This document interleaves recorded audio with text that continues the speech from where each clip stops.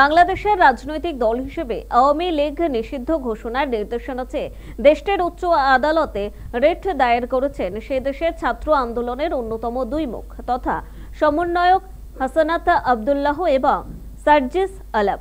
সোমবার সকালে এ রিটটি দায়ের করেন তারা। রিটে আওয়ামী লীগ যাতে কোনো রাজনৈতিক কার্যকলাপ চালাতে না পারে, তার নির্দেশনা চাওয়া হয়েছে। এর আগে গত আগস্ট মাসে আওয়ামী লীগ নিষিদ্ধ চেয়ে একটি রিট করা হয়েছিল। বিচারপতি এ কে এম আসাদুজ্জামানের দ্বৈত হাইকোর্ট বেঞ্চে তা খারিজ করে দেয়। এবার ফের আওয়ামী লীগ নিষিদ্ধ চেয়ে বাংলাদেশের উচ্চ আদালতে আন্দোলনকারী দুই সমন্বয়ক।